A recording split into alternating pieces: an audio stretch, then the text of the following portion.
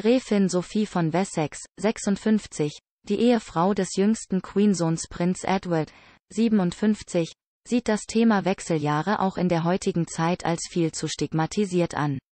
Die zweifache Mutter prangert in einem Videogespräch im Zuge ihrer Schirmherrschaft der Organisation Wellbeing of Women an, dass Mädchen und junge Frauen nicht rechtzeitig und umfassend genug darüber informiert würden.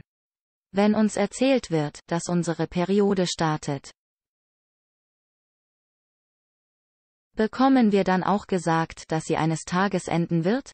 Als Schirmherrin der gemeinnützigen Einrichtung, die sich für Frauen jedweden Alters einsetzt, will Gräfin Sophie dafür sorgen, dass Themen rund um Schwangerschaft, Periode und Menopause nicht mehr als Tabus angesehen werden. Ziel sei es, die Diskussion in die Öffentlichkeit zu tragen und sie nicht zu einem Gespräch zu machen, das die Menschen hinter verschlossenen Türen führen müssen. Die Menopause sollte gefeiert werden, ohnehin verstehe die Mutter der 17-jährigen Louise und des 13-jährigen James Mountbatten Windsor nicht, warum die Wechseljahre so negativ konnotiert sind.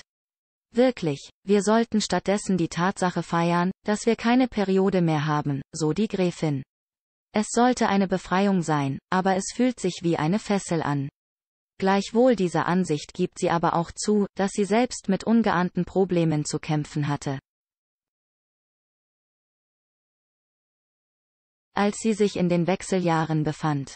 Sie habe zuweilen eine Zerstreutheit erlebt, die sich anfühlte, als wäre jemand gekommen und hätte für unbestimmte Zeit dein Gehirn entfernt. Bei ihr habe das zu einem peinlichen öffentlichen Auftritt als Royal geführt, bei dem sie während einer Rede völlig vergessen habe, worüber sie eigentlich sprechen wollte. Und dann stehst du da und fragst dich, Moment mal, ich dachte, ich sei eine vernünftige. Intelligente Person, was ist mir da gerade passiert? Diese Unsicherheiten seien etwas völlig Normale, wichtig sei nur, Frauen darüber im Vorfeld aufzuklären. Dies schließe aber auch die Arbeitgeber mit ein. Eine von vier Frauen soll laut Gräfin Sophie während der Wechseljahre darüber nachdenken, ihren Job aufzugeben. Mehr denn je seien Arbeitgeber dann in der Pflicht, ihnen das Gefühl zu geben, dass sie weiterhin wertvolle Mitglieder der Arbeitswelt sind.